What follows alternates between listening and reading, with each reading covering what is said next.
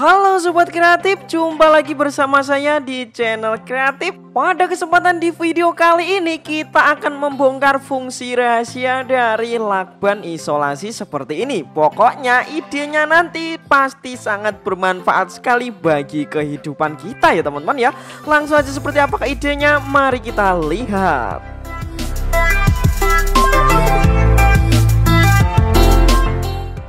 Oke sobat kreatif sebelumnya kita akan mengucapkan selamat menunaikan ibadah puasa ya teman-teman ya. Langsung saja. Nah pertama-tama jadi di sini kita harus menyiapkan sebuah lakban isolasi seperti ini ya. Bisa menggunakan isolasi lakban kecil seperti ini atau yang besar juga nggak apa-apa ya teman-teman ya. Mantap.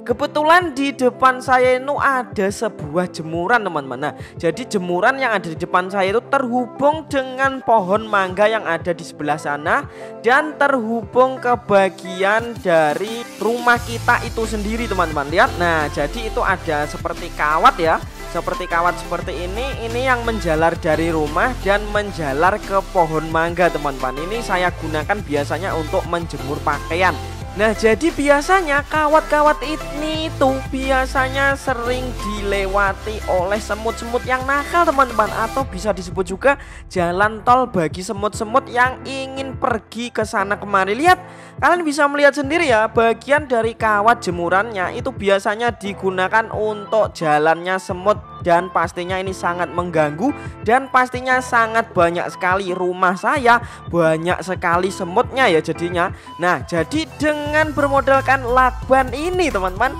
kita akan memutus rantai semutnya guys. Jadi rumah kita akan aman ya.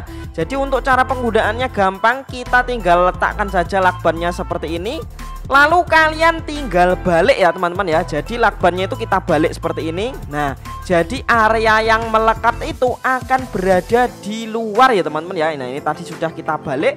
Lalu kita tinggal putar-putar saja seperti ini ya Perlu diingat untuk pemasangan lakban kita balik ya. Jadi bagian perekatnya ada berada di luar ya teman-teman ya. Oke kira-kira di sini kita hanya pasang sekitar dua jengkal saja ya untuk panjangnya ya teman-teman ya.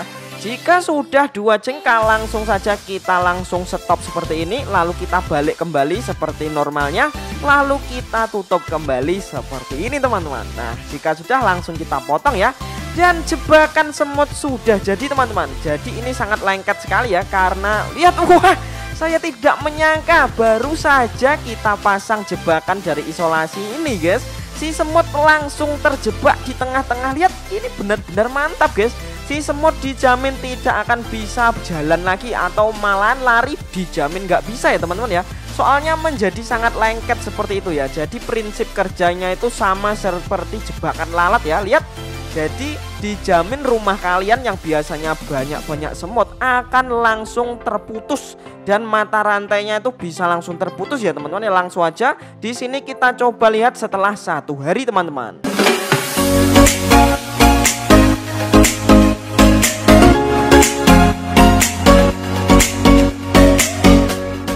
Oke guys setelah satu hari saya sangat-sangat tidak menyangka sekali guys. Lihat wow ini benar-benar sangat-sangat ajaib banget Semut-semut yang awal mulanya biasanya itu lewat dengan mudah langsung terjebak di tengah-tengah kubangan lakban super setan. Lihat, wah, semua semut langsung lengket-lengket seperti ini ya. Sangat saya senang sekali apalagi rumah kita bisa bebas dari semut-semut yang nakal.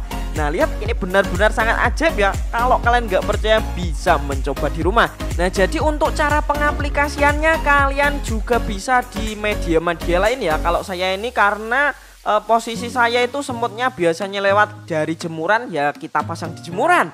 Kalau kalian bisa di rumah kalian semutnya itu uh, lewat di kayu-kayu kalian tinggal lilitkan saja lakban isolasinya di bagian kayu ataupun media-media yang lain sering dilewati oleh dari semut-semut yang nakal ya teman-teman ya. Nah jika teman-teman suka dengan video ini jangan lupa untuk mengklik tombol subscribe yang ada di bawah ini ya teman-teman ya. Semoga bermanfaat. Itulah ide kreatif rahasia dari lakban yang pastinya kalian wajib ketahui.